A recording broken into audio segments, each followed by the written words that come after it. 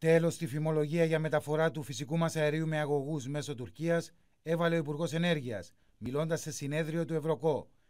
Επίκεντρο της ενεργειακής μας στρατηγικής είναι η δημιουργία τερματικού υγροποίησης, ξεκαθάρισε ο Γιώργος Λακοτρίπης. Όλη αυτή η συζήτηση περί, περί αγωγών και στην Τουρκία και ε, δεν, δεν είναι καν επιλογή.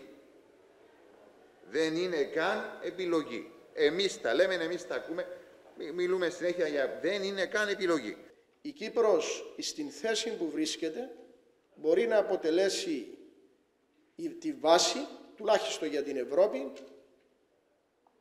για τις πολιτικές δράσεις της Ευρώπης, τις ενεργειακές δράσεις της Ευρώπης, τις οικονομικές δράσεις της Ευρώπης, αλλά και για τα θέματα ασφάλειας της Ευρώπης για ολόκληρη την περιοχή. Καταλήτη για επίλυση του Κυπριακού χαρακτήρισε τη δημιουργία τερματικού στην Κύπρο ο Σόλων Κασίνης. Ερωτηθεί σχετικά ο τέος διευθυντής της Υπηρεσίας Ενέργειας, επανέλαβε ότι ενδεχόμενη μεταφορά του φυσικού αερίου μέσω τουρκικών αγωγών φτάνει τα όρια εθνικής προδοσίας. Διότι αν μια χώρα δεν μας αναγνωρίζει, μας έχει κακοποιήσει και μας κακοποιεί στον υπέρτατο των βαθμών, δεν σέβεται το διεθνές δίκαιο, παρόλο που το σέβεται κάπου αλλού, εμείς πώς μπορούμε να εμπιστευτούμε και να δώσουμε το φυσικό μας αέριο και συνέχισα και είπα ότι επουδενήλω οι Εβραίοι θα δώσουν το φυσικό τους αέριο μέσω Τουρκίας, ό,τι και να λέγεται. Τόσο ο Υπουργός Ενέργειας όσο και ο Σόλων Κασίνης εξέφρασαν αισιοδοξία ότι θα αυξηθούν οι ποσότητες φυσικού αερίου στο οικόπεδο 12, παρά το γεγονός ότι με βάση τα προχθεσινά αποτελέσματα της Νόπολ δεν επιβεβαιώθηκαν οι εκτιμήσεις του 2011. Μπορεί σε μερικούς μήνες που θα γίνει η δεύτερη να έχουμε ανατροπή.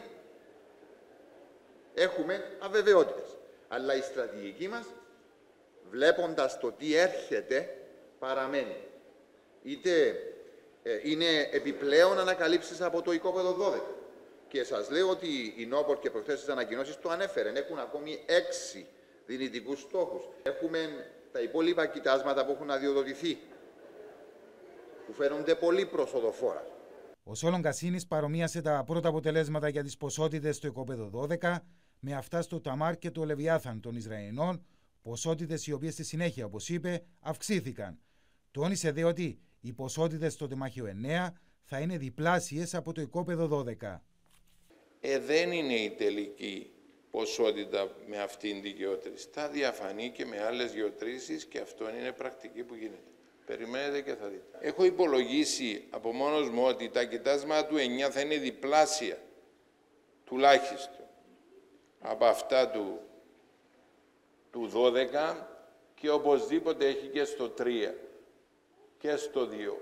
Σύμφωνα με τον τέος διευθυντή της Υπηρεσίας Ενέργειας, η Κύπρος διαθέτει 63 εκατομμύρια κυβικά πόδια φυσικού αερίου, την ώρα που όλες οι χώρες της Ευρωπαϊκής Ένωσης έχουν 64,4 τρισεκατομμύρια.